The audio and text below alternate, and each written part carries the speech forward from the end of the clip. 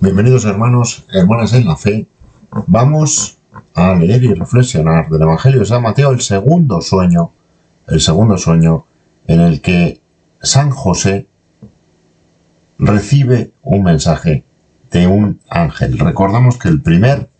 sueño es el nacimiento de Jesús, donde San José estaba en el dilema de si aceptar o repudiar a la Virgen María, de si aceptar la ley de los humanos o la ley de Dios. Y en sueños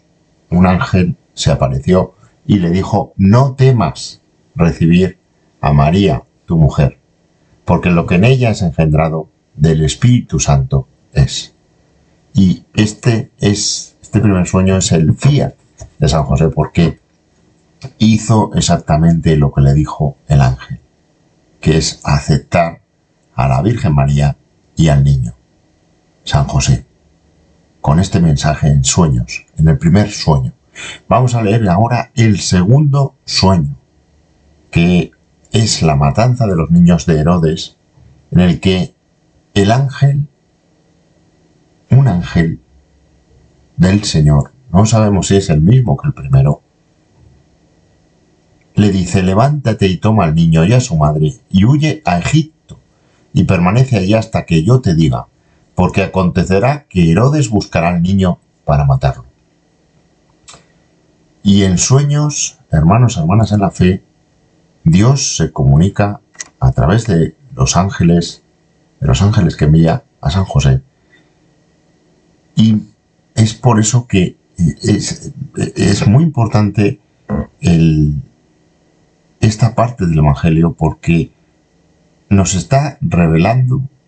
que la conciencia humana de alguna manera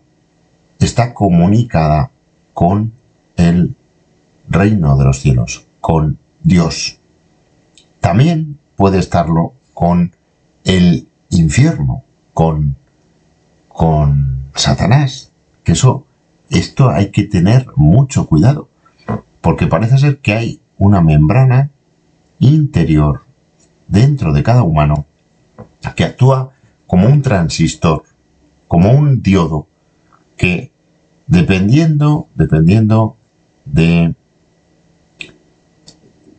circunstancias que no conocemos, se abre o se cierra y se y produce comunicación con el, el reino de los cielos o el infierno desde el punto de vista espiritual.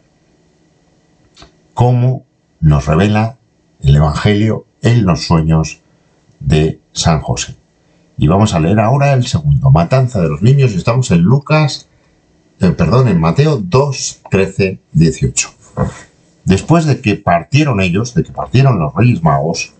que habían ido a adorar al niño Jesús, he aquí un ángel del Señor apareció en sueños a San José, a José, y dijo, levántate y toma al niño y a su madre, y huye a Egipto, y permanece allá hasta que yo te diga, porque acontecerá, acontecerá que Herodes buscará al niño para matarlo. Y él despertando tomó de noche al niño y a su madre y se fue a Egipto, y estuvo allá hasta la muerte de Herodes, para que se cumpliese lo que dijo el Señor por medio del profeta, cuando dijo, de Egipto llamé a mi hijo.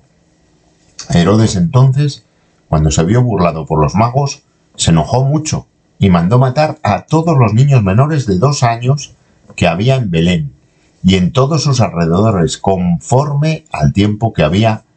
inquirido de los magos. Entonces se cumplió lo que fue dicho por el profeta Jeremías cuando dijo, voz fue, oída en Ramá, grande lamentación, lloro y gemido, Raquel que llora a sus hijos y no quiso ser consolada porque perecieron. Fíjense que en San José, justo después, él despertando, o sea, justo después de despertarse y recibir este mensaje del ángel del Señor, de levántate y toma al niño y a su madre y huye a Egipto, justo después, justo después, despertando, tomó de noche, o sea, con, premura, con, con, con rapidez, tomó de noche al niño y a su madre y se fue a Egipto.